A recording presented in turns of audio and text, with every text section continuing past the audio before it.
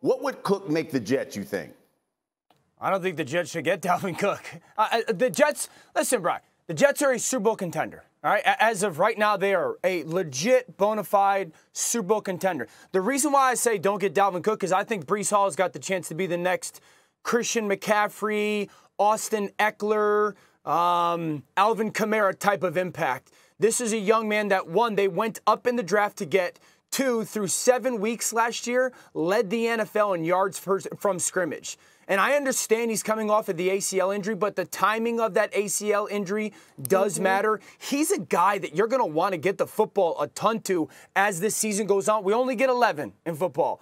Yeah, uh, uh, and as, as much as I love Dalvin, Dalvin's a very good player. If I'm the Jets, I'm sitting there going, as good as we think Dalvin Cook is, we've got a player in Breece Hall that we mm-hmm. need to make sure that as we get into October, November, December, and he starts to really get healthy, we're getting him 15 to 20 touches a game because he's that dynamic of a player. I will say it again. I think he's going to have uh, uh, has the potential to impact the game the way that McCaffrey does, the way that Alvin Kamara does, the way that Austin Ekeler does. So it's not a knock on Dalvin Cook. It's more of what I believe Breece, Breece Hall is for the New York Jets. Listen, I did a number of Breece Hall's games at Iowa State. Mm-hmm. They call him Beast for a reason yeah. because he is. But aren't those backs better? And then you know athletes better the season after they come after that that that, those type of uh, ACL injuries. So I guess my, what I'm saying is he's going to be good this year, but he still won't be as good as he will be the year after. And uh, I will say, to Dan's point, I was there when the Jets drafted Breece Hall, and I remember talking to Robert Saleh, like the home run hitter, like he was so excited about adding this kid. So I understand why the Jets are very happy with their roster, thrilled with their roster right now that they've got the quarterback in place. Breece Hall is dynamic, and when he got injured, I mean the deflation – because the Jets could see between Garrett Wilson and adding adding uh, Breece Hall, they're like, we are fast everywhere. So to lose him was devastating for them. So to get him back, uh, clearly they're really excited. Yeah. So, and, and, so Dan, wouldn't you wouldn't you want to get Dalvin Cook for this upcoming season because you know Breece is going to be even better the season after, maybe not this upcoming season because he's just coming back, obviously, from that knee injury.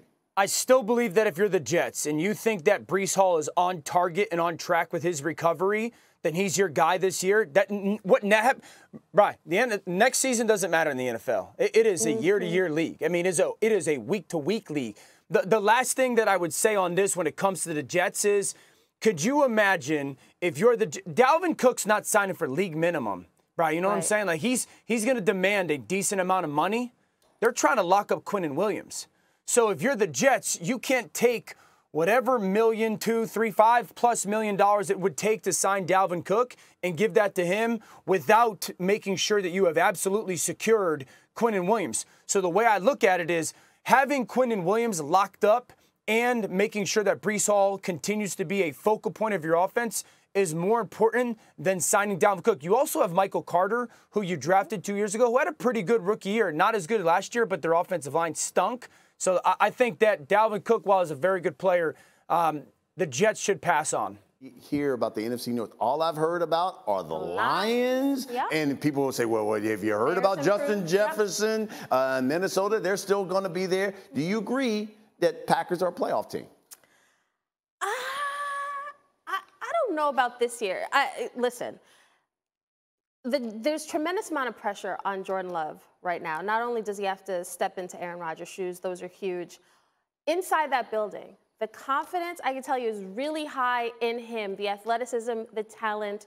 Yes, he sat for a while, but here's the thing: like players in that building have said publicly, like especially on defense, we know we have a dominant defense, but we also have to be even better to account for the fact that the margin for error is going to be slimmer with a young quarterback. Listen, Jordan Love, in my opinion, has been put in a very difficult position. Yes, he's rest, yes he's sat and he's watched, and I think that could benefit him. But he's a guy that his development was stunted based on this whole Aaron Rodgers saga. So yes, I believe in Jordan Love's talent. To say that they're a playoff team this year seems. I don't know if I would go on board with that just yet. I think this is a team next year for sure but they've got a good roster. It all depends on how Jordan Love plays, and, and we haven't seen it yet in totality. Go ahead, Dan. I, I, think he's in a great situation. I would say this to the defensive players who say they got to be better. Yeah, because you guys weren't good last year.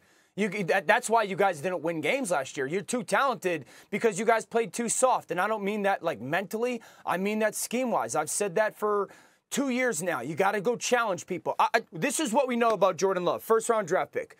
Now, we don't know if other teams had him as first round picks, but he was a first round draft pick. Got to sit for three years. Super talented guy. Playing behind an offense that naturally or normally gets guys to elevate their play. He's got Christian Watson, who's a burning, but a burdening, but burdening star. Burgeoning? Yeah. Uh, yeah. Uh, Romeo Doubs is going to be a very good player. Jayden Reed, they drafted out of Michigan State. They draft Luke Musgrave, a vertical tight end um, down the seams, and they got two good backs, still good an offensive line. This is a really, this isn't as good of a place as Jalen Hurts had in Philadelphia last year, but this is a very healthy place for a quarterback to go play. If Jordan Love doesn't stink, this is a good, this is a team that should win 10 or 11 games. And I don't think there's any chance that he stinks. Knowing what this offense is like and how talented it is, I, I, I think he's in a very, very favorable situation. So if you had the GOAT and it took him almost half the season to get on the right page then with this talented offense, mm-hmm. why do we think Jordan Love is going to come in there and put up numbers considering to be the first time? He very well could be. And I think uh, you're confident in the kid's ability. My only point is we just haven't seen it for 17 games. That's all. So the jury is still out. Yes, they have pieces. The Jalen Hurts of it all, he walked into a situation where he was not the guy. He was not, he came in and was supposed to be competing with Carson Wentz, and he wasn't replacing a Hall of Fame type caliber quarterback. And I think that's the difference. The way the whole Aaron Rodgers saga played out, and that they moved up early to draft Jordan Love, and then we're like, whoa, wait a minute, we're gonna go back to Aaron Rodgers. I think that's what I mean about the difficult position because it's his team now. And if he falters early, we're going to be talking about Jordan Love. Is he ready? Da, da, da, yeah, yeah. Uh, that's interesting. That's all. all right, uh, Dan, I got to get with you because which NFC North quarterback would you want then this season? Let's talk about your list here. Oh, Jared Goff. Uh, Jared Goff's going to play top 10 football again this year. This is an offense in Detroit. Number one, Ben Johnson, their offensive coordinator, is is you know top five play caller. Uh, he's not Andy Reid. He's not Sean Payton. He's not Sean, but he ain't far off. This is a top three offensive line. Amon-Ra St. Brown is going to be a top 10 receiver in this league. Um, I think Jahmyr Gibbs, their draft pick out of Alabama, is going to go for 1,500 plus yards this year. This is what I know about Jared, and I've spent time with Jared. When Jared is protected, he could throw it as good as anybody. I, when he's protected, he could throw it as good as anyone. And that's the biggest question for a lot of quarterbacks. And I can guarantee you this in Detroit, he is going to be protected. If that's the case, then rank your teams. Rank these teams in in, in the North. Uh, it's Detroit, it's Green Bay, it's Minnesota, it's Chicago. I think all four have questions on their defense. I just talked about Detroit. I think Aidan Hutchinson takes another step. Green Bay, it's just about is Jordan Love good or not? I think he's going to be a good player. Um, I think Minnesota's got questions on defense, specifically in their secondary. And then Chicago, again, on defense, still young. Justin Fields will have a much better season. I think he plays at MVP level, but it's still talent wise a depleted roster. Mm, yeah, about 20 seconds came How are the Packers then making the playoffs? That, I'm just curious, based off, because who in the N- NFC, I'm just looking at the teams. If we, we're high on the Lions, right? I'm just curious how the Packers make it. I think that Philadelphia is in. I think Dallas probably should be in. Somebody from the NFC South is going to get in. Yeah. Um, the NFC uh, West East is going to be probably San Francisco and Seattle. So there's another spot or two for a team like Green Bay, for a team like the Washington Commanders, if you get two out of the South. So th- again, they're a playoff contender, Green Bay, absolutely. How about Melvin Gordon? Mm. He was mm. teammates with him at Wisconsin with the Broncos last season. He said this on the Jim Rome show when asked if Russ has anything left in the tank. Quote, yeah, he do and he has an MVP coach. I think they got the pieces there now that's going to put Wilson in the best situation. What he does this year, it's on him. But I definitely believe they'll be a better football team than they were last year. So um, if that's the case, Dan O, what if Russell Wilson can make a bounce back season after really a disastrous first season there in Denver? Now, Russell Wilson will bounce back this year. He has no choice but to, or, or he goes down as the worst tr- trade in the history of the NFL. Eh, he, he has no other option. Russ was this guy that was drafted in the third round, and he had no other option but to succeed and find a way to work his way up the ladder. And he was building a what many believe to be a Hall of Fame career. And, and I believe that he was a great quarterback. And I don't think you just fall from greatness unless one of two things happen. You either get injured or you stop working. And I don't know if these reports are true, but there are reports that Russ is like back in better shape and he was out of shape last year and he looks a lot better this year. And if he did, I guess, drop off with the work ethic last year, and that explains some of the lack of connection between him and his performance and his offensive coordinator, then Russ is going to have a big bounce back year. But for a guy that has had the journey that he has had, he's done it by outworking everybody. He has no choice but to bounce back this year. Like, I think this is one of the things you could take to the bank. Russell Wilson is going to play this season the way Russell Wilson has for the great majority of his career because he has no other choice but to. You know, you talk about work, and we see the video I there. mean, yeah, he's leaner. Jump roping. Yeah, he's leaner. speed skating side to do you side. Look what, at me go. What do you think about what Dan just said? Do you see him having a bounce back year, Kmart? And has I know for years we kept saying, I can't believe he hasn't been MVP. Could he have an MVP type season? Now he's got Sean Payton and got some new pieces there in Denver. Ryan, let's just pump the brakes on MVP season. Uh, uh, uh, can, you know who threw more touchdowns? that. Touchdowns? You know who threw more touchdowns than Russell Wilson last year? Who? Daniel Jones. Davis Mills. Davis Mills. Davis Mills, Justin Fields. Like, I, I forget the MVP talk for a second. I just want Russell Wilson to throw more touchdowns than those two guys. That's it. Because the bar was so low. It was no, it embarrassing. can't be so low. No, no, no. I'm saying the bar for where the, this offense was, where Sure. Russell was last year, the, it was embarrassing based off of the career that he has had. And Russ, I'm sure, I'm not speaking out of turn. I'm sure Russ, if he was sitting here and being honest, he would say, yeah, that was embarrassing. That's not me.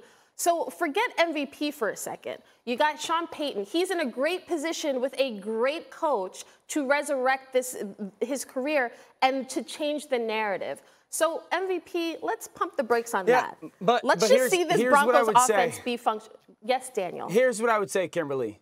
If he like barely eclipses last year's touchdowns, and let's throw, let's say he throws 20 touchdowns, and it's more than Justin or Davis Mills, they're probably looking for a new quarterback.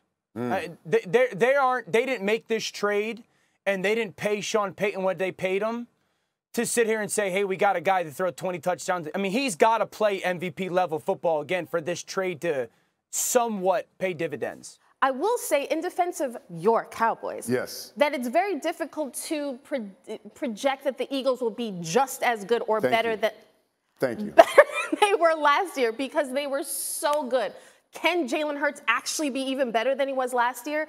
Can, like they were unstoppable to, for the most part. So that's that's why I will say Dallas can creep up and catch the Eagles because you can't expect them to be that good. I will say though that the Giants are an improved team. If Washington is as confident as if Sam Howell can be as good as they expect him to be, I don't think that it's just, oh, well, the Cowboys are going to overtake the Eagles and that's the end of the NFC East. I, I, they've got competition throughout that division. I am so sorry, mm. Brian. Dano, for saying that. here, Dano, I got to hear your, your thoughts on this because it's been like what two decades since you've had a repeat champion in the division. Mm. That's mm. number one. Eagles can't be. That's any what he's better. to. They were phenomenal, but they did lose two important coordinators. Yes. Jalen Hurts can't be any better than he was last year. He was unbelievable. You really believe that Jalen Hurts is going to have another Speaking season like like, that? fan. You Is he believe he's gonna have go a- backwards?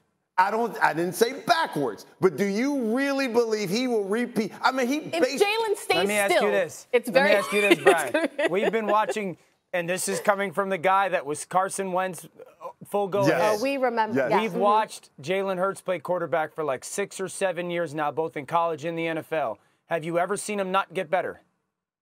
That's a good point. It's a good point. I- It- but this he- is what I'd got you say. there. this is what I would say about DeMarcus Lawrence's comments. He's absolutely correct. He is 100% spot on. The gap isn't that big. The gap has actually been closed.